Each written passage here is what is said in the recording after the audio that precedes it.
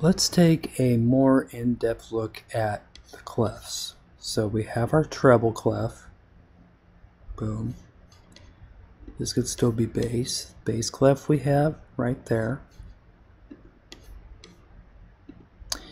And then we know that the treble G clef right here, this is the range. Bass clef, F is your home spot, so that's F clef as well. It's another name for it.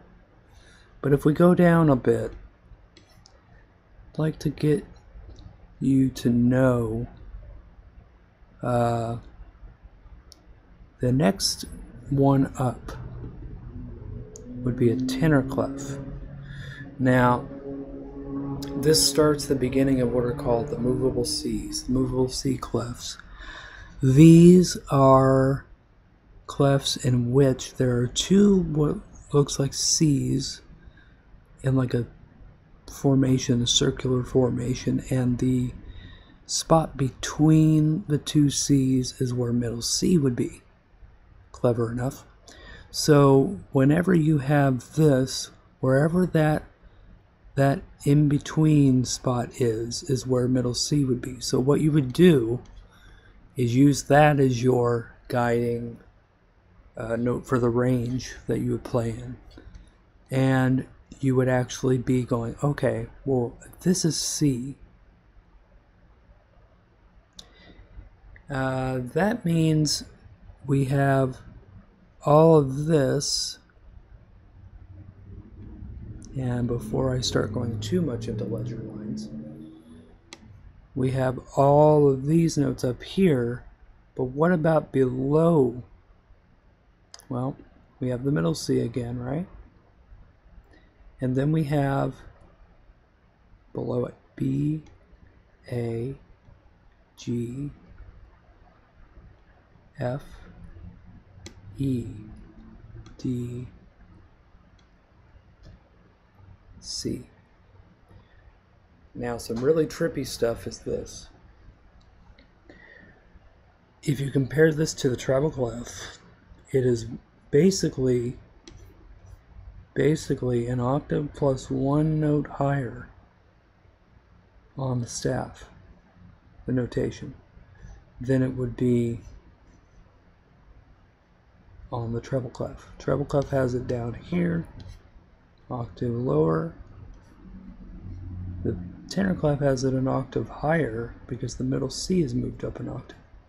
In treble clef, this would be the middle C, but in this movable C tenor clef, this is middle C, so it goes up not only an octave, but a second on top of the octave. So each of these are an octave plus a second away from the treble clef notes. So, all right. So for this, you probably would need these note names.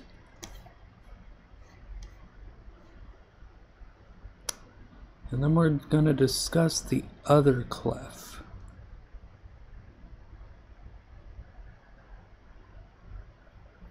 Let's see, inspector. And I might just, I'm just going to do all the C clefs in one video this time. And the next C clef that we have going right to left instead of left to right um, would be alto clef. So this is commonly known as the viola clef too. Now you have this. You have one, two, three lines up as middle C. So right there. So what would you do, you'd put the middle C right on the center line there in the middle of the staff because that's where the break and the C's are. So there you go. That's middle C. So what does that what does that mean?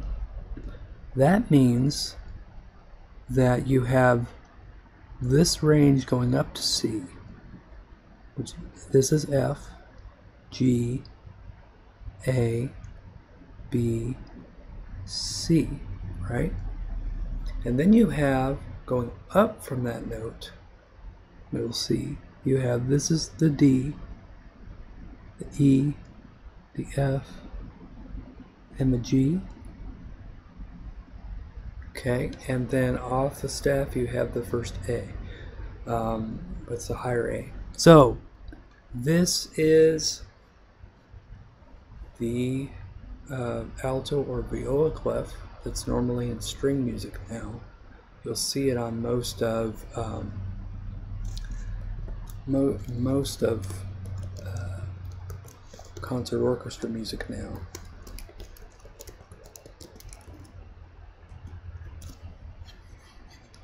For example,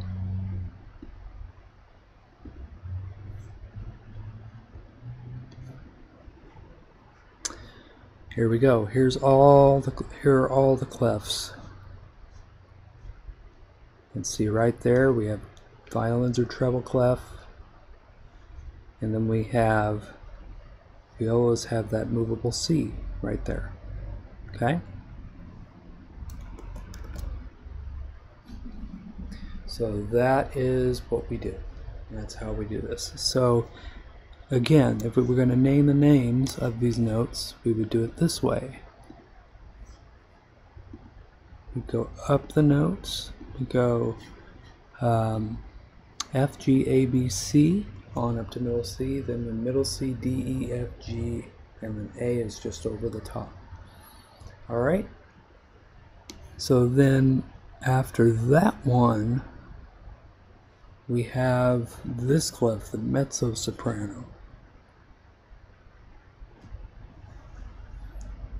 And so, so we notice that the, the movable C clefs are getting lower and lower each one. So we have middle C on the second line now. And you notice there's less of a lower range each time we lower the clef. And there's more of an upper range each time we lower the clef. So That what would that mean? That would mean let's say this is A. Since this is our middle C, we have to keep that in mind. So A, B, C, D, E, F, G, A, B. Pretty weird, huh? So this is how this works. We would put those in.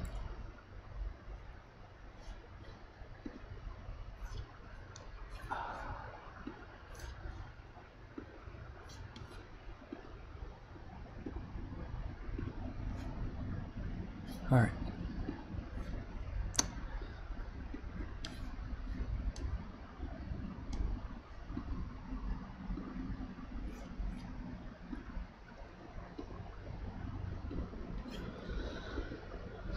Alright, there you go.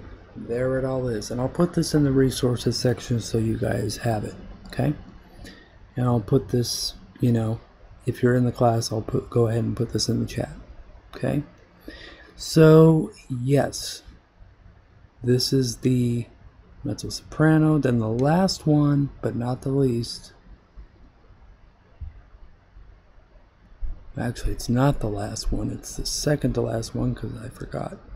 There's one on the third line. There's one on the actually the top line of the staff. But this one is the soprano clef here. So now we notice that this is the middle C, this line right here. and then that means we would actually have C starting there, D E F G A B C. Okay, so we would do that, and that would be shown like this.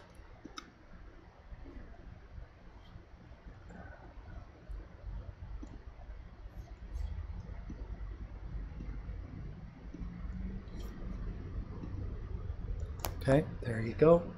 And we forgot the clef before the bass clef, which is now we're on it, baritone clef. So now you see the middle C, the break between the two C's there is the topmost line.